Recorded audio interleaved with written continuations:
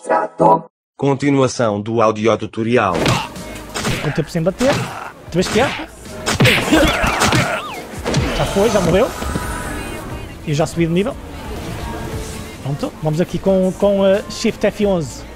Shift F12. Bobagem. Com, com o estrondo, o osso do nariz do homem forte foi quebrado. E então seus pés lentamente se ergueram no chão e toda a parte superior de seu corpo se inclinou para trás. Ponto e braço. Está, demos de cabo do gajo.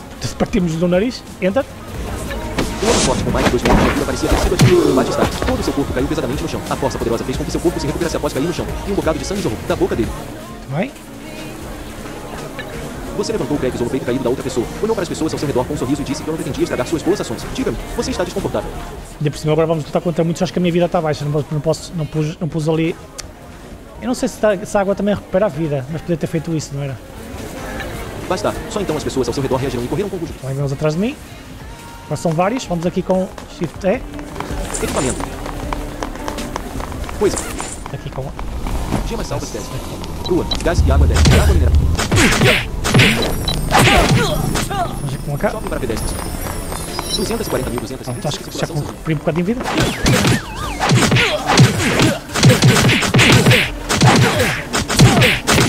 Complicado. Vamos fazer outra vez. Vamos lá.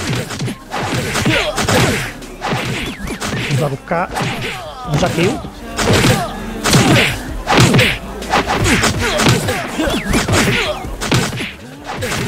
Toma, há de espaços.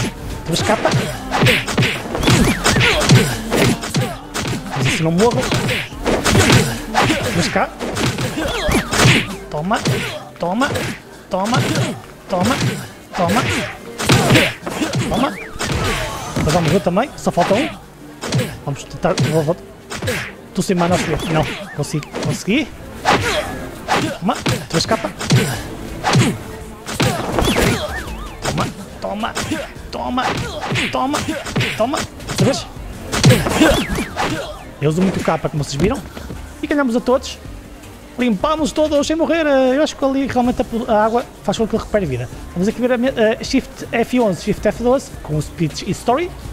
200 poucos minutos depois, todas as pessoas que impressionavam do lado de fora do bar caíram no chão. Algumas delas tiveram as mãos quebradas e outras tiveram os pés arrancados. Jesus, entra. Todos estavam encolhidos de dor. Uma forte chuva ainda caía do céu e o esgoto no chão estava misturado com sangue ponto geográfico. Você não estava olhando para as pessoas deitadas no chão. Você caminhou até a mulher, colocou os braços em volta da cintura dela com um sorriso e disse: Você quer ir para o hotel ou apenas fazer sexo dar entra. O rosto desta última de repente ficou vermelho. Você estava apenas brincando com ela. Afinal, você a salvou. Você apalpou desenfreadamente a cintura macia da mulher. Depois retraiu a mão e tropeçou em direção à esquina da rua sem olhar para trás. Você deixa amor, não, não, não abusamos muito. Só um bocadinho. Vamos dar enter. E pronto, já estamos outra vez em jogo, pessoal. Uh, com H, veja a minha vida e a minha humana. 245.170. 245.170. Oh, tenho 245 de vida e tenho 170 de mana. Se eu fizer agora então a, a segunda tecla à esquerda do backspace, ele dá este som, está a meditar e com um H posso ver 260 a minha vida a subir, 260.200. a mana a subir agora. 260.260.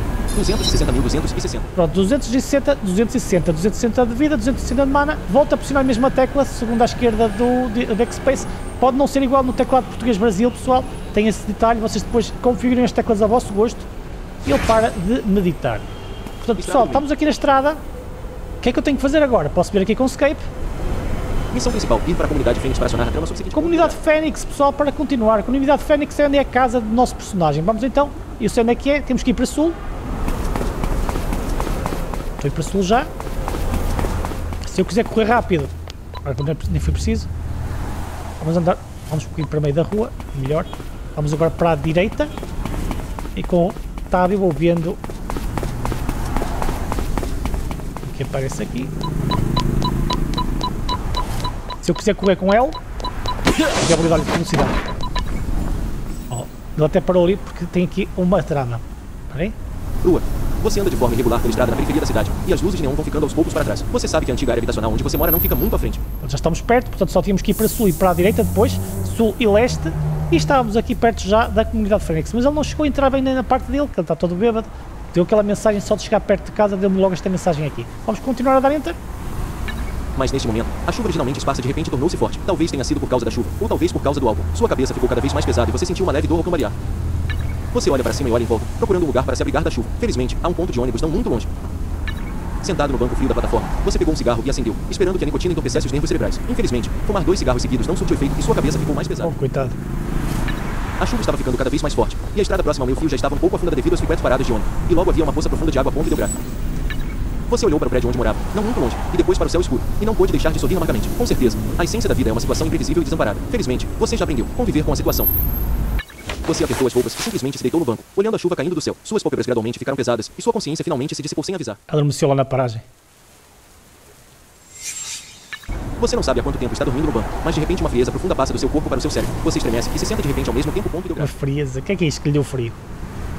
Devido ao movimento violento, sentiu uma dor aguda no cérebro e de repente você perdeu todo o sono. Ponto ideográfico. Você deu um tapinha na cabeça e se levantou. Você viu que as roupas finas do seu corpo já estavam encharcadas. Ficou todo molhado porquê?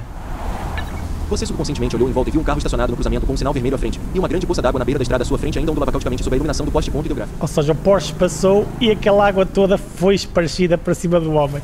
Quem, quem é que nunca passou por isso, pessoal? Nós cegos já passamos tantas vezes por isto. Os carros passam por cima das poças e molharam-nos todos. E aconteceu isto ao nosso pobre homem. Ficou todo molhado e encharcadinho, cheio de frio, por causa do Porsche passar ali por cima da poça. Vamos orientar?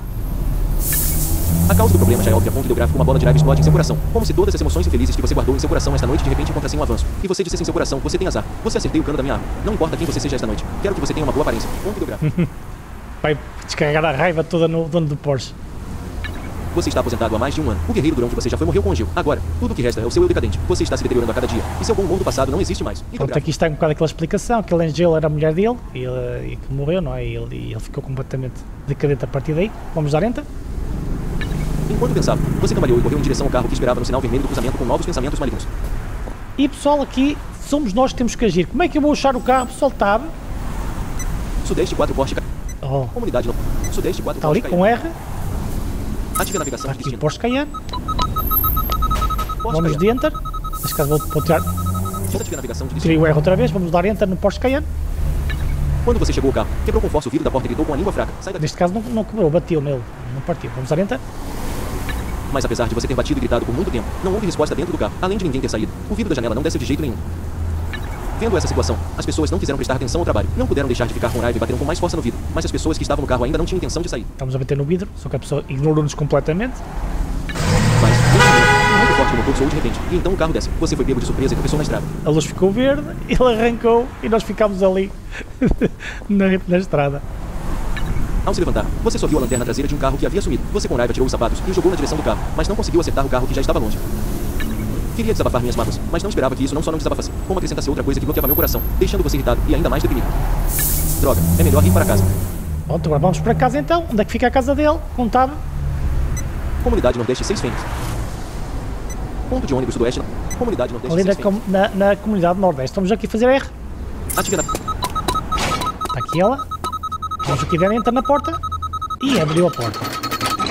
Ativei. Desative a navegação. Onde estava a procurar. Comunidade Sul 7 Não. Fênix. Comunidade Sul 13 Fênix. Mina Michiguchi. Quadra de basquete. Para a direita. Sul. Teve mais. Agora para o leste. Digamos que um bocado, andar um bocado para norte e um bocado para leste. E nossa, Prédio Nordeste com 11 e nossa unidades. prédio é este aqui nordeste. Nosso prédio é o nordeste. Vocês já unidade. pesquisar, não é? explorando, portanto entrei aqui. E a nossa casa fica no canto nordeste mais uma vez. Um bocadinho para norte, para, para leste. Corredor. Aqueles sons à direita é a parede. Quando desaparece o som de pipipi, significa que já tem passagem para a direita. Um bocado como acontece no meio na mão, não é? Prédio. Prédio. está a porta. Prédio. Varanda. Está aqui já diz varanda. Varanda. Neste caso é varanda, é, digamos que é o alpendre para entrar aqui na porta. Porta nordeste, volto a dizer, são quatro aqui apartamentos. Nós estamos aqui no nordeste. Este é o nosso apartamento. Se vocês não entraram errado, vai dizer que já- que eles assaltaram o apartamento dos outros, ou assim uma coisa do género. Portanto, era assim que Claro. vocês estavam aqui. O sofá fica para a direita e para a direita, a direita e norte, portanto vou andar para a direita e agora para a norte. Mesa de ca- Café.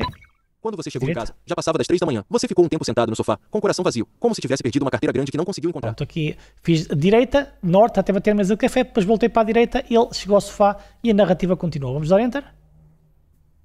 Ei, estou acostumado com ponto ideográfico de qualquer maneira. Você tirou a roupa molhada enquanto falava sozinho, enxugou o cabelo casualmente com uma toalha e não se preocupou em se lavar. Voltou para o quarto, deitou-se na cama e puxou a colcha, sentindo-se sonolento. Adormeceu ponto ideográfico. Adormeceu. Não sei quanto tempo se passou, mas um telefone celular tocando te acordou. Você tentou abrir os olhos dolorido. Um raio de sol que entrava pela janela brilhou pela fresta das cortinas e atingiu a parede do quarto. Você está tonto. Parece que hoje está um bom dia ponto ideográfico. Você apoiou o corpo e procurou o telefone que havia jogado fora, mas assim que se sentou sentiu uma tontura e uma forte dor de cabeça. Tocando sua testa inconscientemente, você se assustou. Estava assustadoramente quente e sua garganta estava quente como fogo. Era extremamente difícil engolir sua saliva e seu corpo estava tão mole que parecia que estava prestes a desmoronar. Ideográfico. Enter. Eu sabia que era ruim. Parecia que meu corpo, que nunca esteve doente por milhares de anos, finalmente não resistiu desta vez. Não pude evitar e amaldiçoei meu coração novamente o bastardo que dirigiu sem olhos na noite passada. Ponto ideográfico. Sempre que faz plique, eh, ele vai avançando ao diálogo. É que aquelas roupas molhadas acabaram numa grande gripe, coitado do rapaz.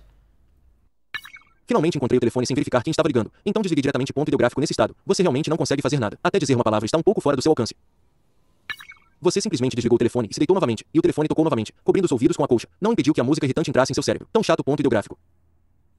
O nome de Yankee apareceu no telefone. Você não precisou pensar duas vezes para saber que esse cara devia estar incentivando os funcionários a irem trabalhar. Com certeza. Assim que ele apertou o botão de atender e não teve tempo para falar alguma coisa, ouviu uma série de perguntas vindas do ponto ideográfico. Amigo dele e também chefe dele, digamos, chefe de secção, não chefe da empresa. Linhe, o que você fez? Que horas são agora? Por que você ainda não chegou na empresa? Nem isso somos nós. Você respirou fundo e disse Kai Kai, não posso ir hoje. Vou morrer. Por favor, me dê um dia de folga. Aí o patrão pode vir quando vier. Não é da minha conta ponto ideográfico. Aí você falou debilmente e tossiu violentamente algumas vezes de propósito para mostrar a autenticidade dessas palavras ponto ideográfico. Com certeza, a pessoa ao telefone ficou em silêncio por um momento e então perguntou confusa é realmente tão sério. Tem certeza de que não mentiu para mim? Sabe, senhor Linhe, você é um especial aposentado, policial. Por que não vejo você doente há mais de um ano? Droga, lixo Kai Kai. Como eu poderia tirar sarro de você com a minha própria saúde? Se você não acredita em mim, vem aqui dar uma olhada. Você também pode me levar ao hospital pelo caminho ponto Não é ideográfico. Lish Kai. Ele chama-se Liang Kai. Ele chama-lhe Kai Kai e Liang Kai. Porquê é que aqui o, o leitor diz Lish Kai? Não é lixo, é Liang Kai, que é o amigo dele. Ian Kai finalmente acreditou no que você disse. Ele suspirou com um longo rabo no receptor e disse bem, vá para o hospital sozinho. Eu levarei o ponto ideográfico para você sobre a empresa. Agora traduziu bem, Liang Kai, exatamente. Você estava prestes a dizer algumas palavras de agradecimento quando ouviu Enkai dizer com urgência: Não vou te contar mais. O novo presidente chegou à empresa e a cerimônia de boas-vindas está prestes a começar. Imediatamente depois, lá foi um tom cego de ponto ideográfico. Você sorriu amargamente e desligou o telefone, pensando não a um novo presidente. É como se você estivesse conhecendo um figurão. Essas pessoas são realmente pretensiosas. Você é um policial especial aposentado. Para ser mais preciso, você deveria ser um policial especial que foi aposentado à força. Ei, se eu falar demais, vou chorar. Isso tudo fica para outra hora. Você ainda não quer relembrar esse ponto ideográfico. Está, a história vai-se contando, não é? Estou falando de Ian Kai, meu amigo de infância. A última vez que o encontrei foi há um ano. Ele não queria ver você vivendo tão bagunçado, então te apresentou a empresa dele. Sem muita experiência de trabalho, você apenas continuou trabalhando nessa imobiliária em um ponto ideográfico. Uma imobiliária, queria deu para lembrar qual era. A empresa é uma imobiliária, basicamente. Com sua atitude dedicada e diligente no trabalho, foi promovido ao nível gerencial e tornou-se diretor de projetos do departamento de projeto. Embora sua posição não seja elevada, ele é altamente reconhecido por sua liderança. Não nós, o Yang Kai. Nós somos uns, uns baldas do caraças. Mas você ainda é um funcionário comum esperando para morrer. Então Ian Kai se tornou seu chefe imediato. Essa também é a razão pela qual você pode se atrasar ou faltar à empresa à vontade. Problema que você causa. O amigo ajuda. Deixando de lado esses pensamentos confusos, você olhou a hora e viu que já eram quase 10 horas. Você mal apoiou o corpo flácido para se levantar, se vestir e se lavar. Enquanto escovava os dentes, vomitei como uma mulher grávida e minha garganta estava tão seca que parecia que estava prestes a estourar. Tive vontade de beber um copo de água quente, mas descobri que a chaleira estava vazia. Com preguiça de esquentá-la novamente, então despejei alguns goles de água fria da torneira para sentir minha garganta. A sensação de secura e rachadura foi levemente aliviada a ponto ideográfico. Pronto, pessoal. Onde é que eu tenho que ir Afundar. agora? Não faço ideia. Com o escape vejo.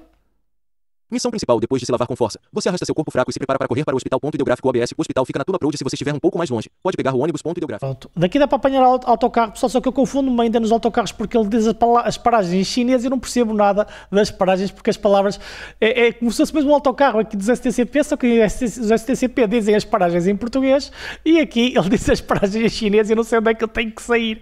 Mas é engraçado que o conceito de autocarro é muito fixe. Mas pronto, vamos aqui sair com o escape novamente, vamos sair de casa, Banheiro. Afundar. Banheiro. estamos no fundo do banheiro, vamos andar para a direita, porta fica à direita banheiro. Está aqui, sei. Porta. Vamos andar para sul. Sala. Porta. Aqui Porta. está a porta de casa, enter, saí do apartamento, Varanda. Corredor. para oeste, agora para sul, Prédio. Corredor. está aqui a porta. Vocês com o tempo vão se adaptar aos radares, vai ser super fácil navegar, pessoal, nisso vai confundir um bocadinho, mas este sistema de radares está bastante bom. Vamos para sul, estou aqui a água, tem aqui um laguinho perto da nossa casa. Agora para sul, diz oeste e sul, e vai estar aqui a saída da comunidade, enter, sair da comunidade. Então vamos voltar para o oeste, Tem continuação. Procure a próxima parte.